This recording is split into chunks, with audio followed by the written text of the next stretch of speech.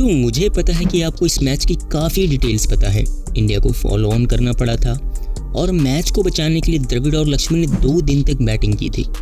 आखिर में इंडिया जीती थी। लेकिन क्या आप इडन गार्डन्स की असली कहानी जानते हैं?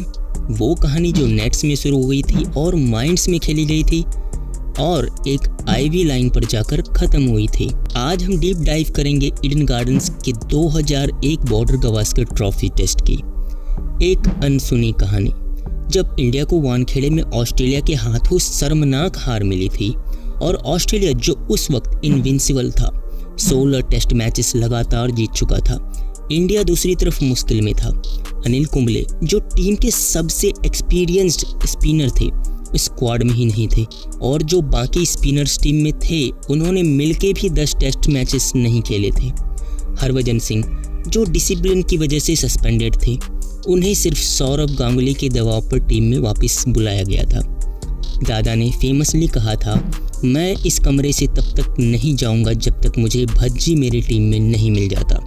लेकिन भज्जी के बेस्ट फिगर भी उस वक्त सिर्फ़ थ्री फोर थर्टीज थे। ऑस्ट्रेलिया ने मुंबई टेस्ट सिर्फ़ तीन दिन में ही ख़त्म कर दिया था और इंडिया एक बार फिर किसी भी इनिंग में 200 रन भी नहीं बना पाई थी। गांगुली को गुस्से से भरे मुंबई के क्राउड ने ज़ोर से बू किया था और बिशन सिंह बेदी ने कहा था कि ये मैच इंडियन क्रिकेट का अंत है। जब इंडियन टीम का प्लेन दूसरे टेस्ट के लिए कोलकाता लैंड हुआ तो और बुरे हालात होने वाले थे। जगवाल सरीनाथ फ्रैक्चर्ड फिंगर की वजह से मैच के लिए अनफिट डिक्लेयर कर दिए गए थे और राहुल द्रविड़, जो टीम के थर्ड मोस्ट एक्सपीरियंस्ड प्लेयर थे फ्लू से बीमार हो गए। उन्हें बेड रेस्ट पर रखा गया। फीवर और डिहाइड्रेशन से लड़ रहे थे। द्रविड़, जो हमेशा मैच से पहले प्रैक्टिस करते थे, उस मैच में पहली बार बैट को टच कर पाए जब वो एक्चुअल में बैटिंग करने उतर रहे थे। लक्ष्मण दूसरी तरफ़ अपनी डेली नेट प्रैक्टिस के बाद टेस्ट से दो दिन पहले फिजियो के पास गए बैक पेन की शिकायत करते हुए। जब फिजियो ने उनकी बैक देखी तो वो चौंक गए। लक्ष्मण की स्पाइन एक तरफ़ टिल्ट हो गई थी और अगर और ज़्यादा डैमेज होता तो लॉन्ग टर्म डिसफिगरमेंट का रिस्क था। उन्हें भी बेड रेस्ट पर डाल दिया गया।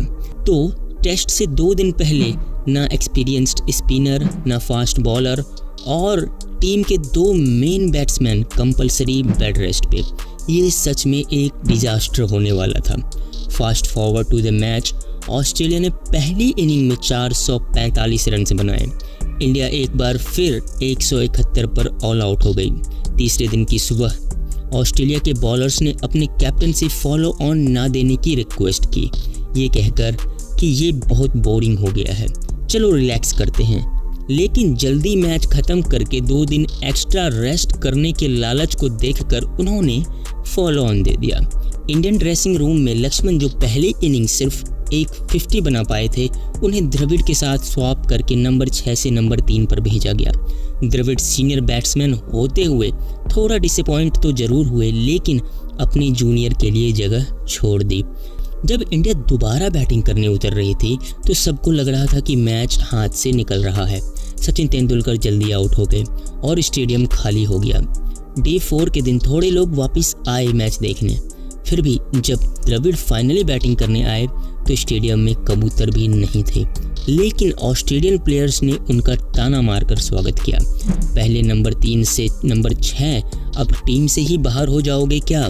लेकिन द्रविड़ और लक्ष्मण ने पूरी मॉर्निंग सेशन में खेला बिना किसी विकेट गवाए। लंच तक द्रविड़ जो सीवियर मेडिकेशन पर थे और कोलकाता की गर्मी में स्ट्रगल कर रहे थे, उन्हें क्रैम्प्स आने लगे।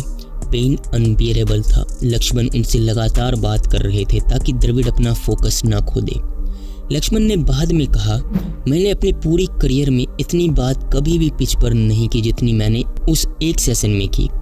जब सेशन खत्म हुआ और ड्रेसिंग रूम में वापस आ गए तो किसी ने उन्हें कॉन्ग्रेचुलेट तक नहीं किया। टीम वैसे ही चुपचाप बैठी रही जैसे लंच ब्रेक में थी, जैसे सब कुछ नॉर्मल हो। किसी ने अक्नॉलेज तक नहीं किया कि जगमोहन डालमिया ने हर रन के लिए एक हज़ार रुपये का इनाम अनाउंस किया था। किसी ने नोटिस तक नहीं किया कि लक्ष्मण ने गवास्कर का रिकॉर्ड तोड़ दिया था। स्टेडियम के बाहर जाने के बावजूद जैसे सब प्रिटेंड कर रहे थे कि कुछ एक्स्ट्रॉर्डनरी हो ही नहीं रहा। आखिरी सेशन में लक्ष्मण की बैक बिल्कुल गिव अप कर गई। वो बियरली मूव कर पा रहे थे और द्रविड़, जो पहले लक्ष्मण का सपोर्ट ले रहे थे, अब ज़्यादा बॉलिंग फेस करने लगे। उन्होंने इंश्योर किया कि ना टीम गिरे और ना लक्ष्मण। दिन खत्म होने के बाद दोनों बैट्समैन थक कर बेंच पर जाकर गिर गए। उन्हें तुरंत आईवी लगाई गई। स्पेशली द्रविड़ को, क्योंकि उनकी डिहाइड्रेशन बहुत ज़्यादा हो चुकी थी। लेकिन दोनों ने वो कर दिखाया जो लगभग नामुमकिन था। पूरा दिन बैटिंग करके ना सिर्फ़ मैच, बल्कि इंडिया की इज़्ज़त भी बचा ली। आखिर में हाँ ये एक ब्रिलियंट पार्टनरशिप तो थी, लेकिन जो बाद में हुआ, उसने इस मैच को सच में स्पेशल बनाया। हरभजन सिंह ने हैट्रिक विकेट्स ली और ऑस्ट्रेलिया को ऑल आउट कर दिया। इंडिया ने टेस्ट जीत लिया, फिर सीरीज़ भी जीती। ये क्रिकेट हिस्ट्री का एक सबसे बड़ा कमबैक बन गया। लेकिन जो लोग नहीं समझते, वो ये है कि दो प्लेयर्स जो गली क्रिकेट खेलने लायक भी नहीं थे उस वक्त, उन्होंने अनइमेजिनेबल पेन के साथ पूरा दिन बैटिंग किया। एक एक बॉल सिर्फ़ अपने देश के लिए खेला। उन्होंने अपने कंधों पर एक पूरी नेशन के सपने उठाए और उन्होंने उन्हें गिरने नहीं दिया। तो ये थी उस टेस्ट की कहानी जो सच में अनसुनी लग रही थी। आई होप कि आपको ये वीडियो पसंद आया हो। तो इसे लाइक करें शेयर करें और सब्सक्राइब करें। Thank you for watching this video तो मिलते हैं किसी नेक्स्ट वीडियो में। तब तक के लिए bye bye and take care